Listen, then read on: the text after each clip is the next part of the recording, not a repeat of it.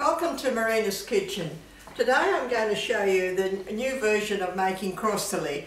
Uh, four years ago I put crostoli on my video and uh, it's an Italian dish, uh, these crostolis. Now when we originally used to make them, my mother's recipe was that we'd put uh, wine or brandy or some uh, grappa. It was something that they thought that that spirit would make the bubbles in the pastry and it used to form a bubble in the pastry. Now, after all these years, we've uh, there's, been a new recipe that's come out that we don't need the wine uh, and brandy and all any wine spirits. So uh, I'm going to show you the new version of crostoli. So what we need is uh, three eggs. I've beaten up three eggs in there. And what we need is uh, three dessert spoons of caster sugar put in there. And then we need three dessert spoons of warm water to go in there. So we just mix that all together and all we need is that and we need some vanilla. And then I'm going to add three cups of plain flour to that and that's all the recipe it is. Very simple. Now I want to, when I make this pastry, I like to rest it for about half an hour to three quarters of an hour. Whenever you're ready to do it again, just wrap it up in some cling wrap, leave it there, and then just get ready for to do it. Now I'm just going to add this plain flour. Three, there's three cups of plain flour there. Just add a bit at a time and form a pastry. That's all it is to do. And uh, without that wine, it's so easy because you don't have to have wine or any spirit to make this. It's a new, a new recipe and it's just as good. So I'm going to show you how to do it. Now just keep on doing that until you get, a sort of, it's a nice soft pastry. It's not very firm and uh, I let it rest and I gone ahead and let it rest and then I'm going to show you how I'm going to cut them. What happened was I went to uh, use my my cutter, pastry cutter, and uh, the thing, the handle come off. So what I had to do, I had to use it without the handle. So there you are, that's what's happened today. I'll have to get a new pastry cutter. Now I just put that three cups of plain flour in there and that'll form a lovely pastry, a lovely nice soft pastry. And I've wrapped it up, when I've, I've wrapped it up in the cling wrap, let it rest for about half an hour or to three quarters of an hour, whenever you're ready to do them. So that's all it needs. Now just knead that with your hand, knead it nicely, wrap it up in some plastic wrap, and then it'll be ready when you need it. So what I'm going to go now, I'm going to show you the one that I made, and I'm going to go ahead and shape them for you. So what we do now is I've cut it up in pieces like that. Put a bit of flour, I've put a cloth on my bench and sprinkle some flour on it. I like to work with a bit of flour on it. And then I cut little pieces like that in the pastry. This is how I first do it. And I put a little bit of flour on the table, on the cloth, and just spread that like that. What I've done is you have to go on your largest setting of your pasta machine and then we go medium and then we go small. So just keep on doing the same thing like that. There you go. So now I've got it on my larger setting on my machine. I'm going to put it through. And what I do is I double it up and put it through again. You can do it about three times. Just keep on doubling up. And then just put it there with a little bit of flour that you've put on your cloth and just keep on doing the same thing with all the other pieces. I, I, like to do all my pieces at once and then I'm just going to go and deep fry them. I deep fry them in a, in a vegetable oil and I've got in my frying pan there I've got about I've got about a litre and a half of vegetable oil. So see there you go, I'm just going to do that on the large setting of my pasta machine, just go about three times and then I'll go in the middle of the pasta machine. Another one there.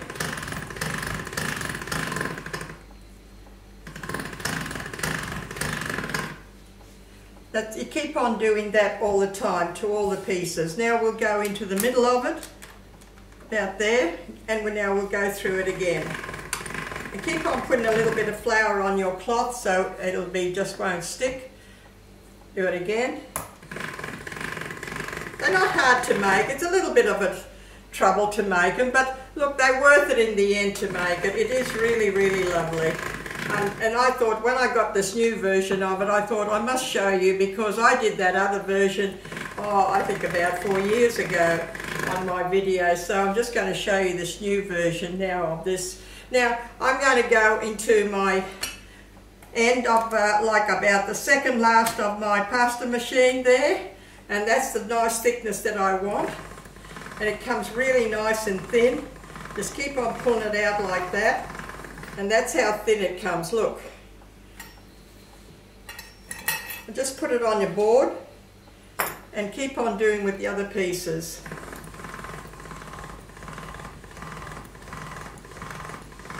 Comes lovely and thin, you can see through it. I'll keep on doing these. I've got already some made up for to deep fry. Now, after I've done all that, what I'm going to do now, I'm going to cut them in pieces.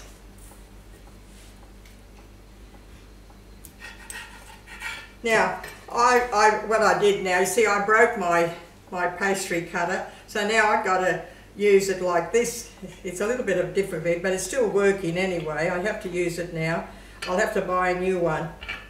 So all I do is cut them like that and put a hole in the middle like that and get them ready to deep fry. That's all you do.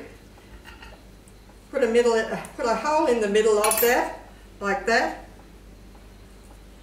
And you've got that lovely edging of your pastry uh, cutter on the edge. I like to have that edge. You like to have, you've got to have a pastry cutter with that nice uh, large edge onto it.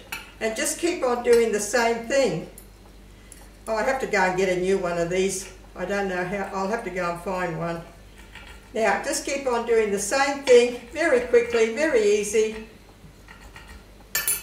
There you go. Look. Now, once you've done all those, excuse me, once you've done all, all those, all you've got to do is now uh, heat your pan up and deep fry them, which I have done a couple of trays. I have done a couple of trays of them. Look, that's how they are. I'm going to heat, the, heat my pan up now and I'm going to uh, put them on a, if you once you've deep fried them, I'm going to put them on a, a baking paper, some baking paper, and then I'm going to sprinkle them with some icing sugar.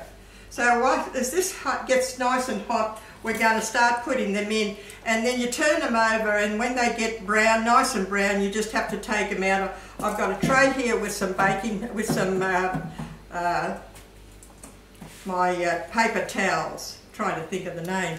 And so now what I'm going to do is, I think that's hot enough. You just have to put one in and see if it's hot enough. It's frizzing out now. Just keep on putting, I can put the whole tray of that in the in my uh, pan here and you can see them frying up. You need that nice, nice and hot. When they get brown you have to turn them over. I can put all this tray in here in the fry pan. You, you make it quite, if you haven't got a fry pan you'll have to have it like a sort of a deep fryer, a saucepan with some oil in it. And all you do, look you can use this vegetable oil again. Just put it in a container and you can use it again. So you can see them bubbling around and you see them that they sort of getting nice and brown. As soon as they get brown I'm going to turn them over and I'm going to do some more. They don't take long. It really doesn't take long to do them. Once you've rested that pastry and you put it through, it really is pretty quick. Now they're starting to get brown, and as soon as they get brown, I'm going to turn them over. And they've got, they've still got all the nice bubbly on, on the pastry without the, without the wine. We don't need the wine on this recipe.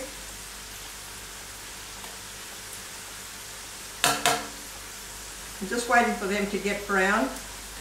And then when, when, they, uh, when I take them out, after they've cooled down, you sprinkle them with some nice icing sugar. They won't take long and I'll do another batch. Look, they are nice to make. They, they look, once you put them in a container, they keep for weeks. So, and the kids, my kids just love chewing these and they just pick at them all the time. They are lovely. They don't take long to make. They're just getting brown now. And as soon as they start getting a nice brown colour on them, I'll take them out. As I said, you can use this vegetable oil again. Put it, when it cools down, put it in a container and you can use it again. Honestly, you can use it for about two or three times. It's perfect. So uh, don't, no worry about wasting it. Like there's about a litre and a half in there, which has to give it a little bit to, to nicely uh, get the depth to fry all these crostolies up and they are just about done now. I'm just going to put them on this uh, on my paper towels. There you go. They're just a light brown.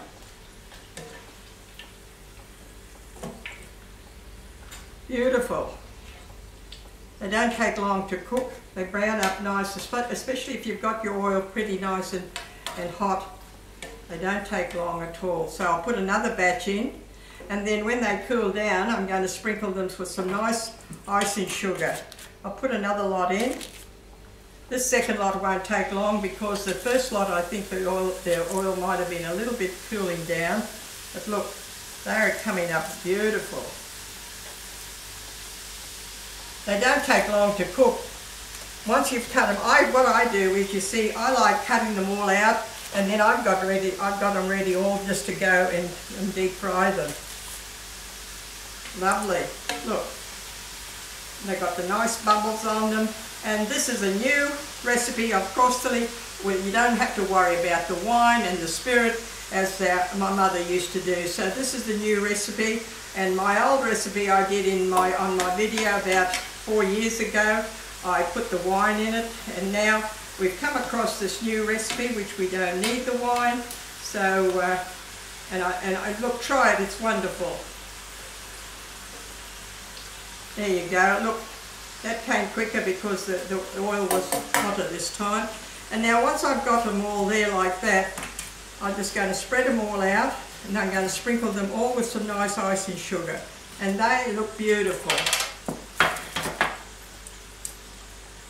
Have another lot here and I'll switch this off for now and then I'm going to continue doing mine. Uh, look, you know, my children just love them. Uh, I have a large family so nothing goes to waste. I'm always cooking for them and they love it. They love crunching on these, sitting in front of TV. Instead of chips they can have a few of these. They're not very sweet or anything like that. There's nothing in them that... Now look, they are absolutely beautiful. The recipe is so simple, so easy. Now I'm going to let them cool down and I've got my icing sugar ready and I'm going to sprinkle them with some nice icing sugar. Just put them there like that. And that's, look at that, how bubbly that come. Look, beautiful. So I'm just going to, now what you do is just sprinkle them with icing sugar, turn them around,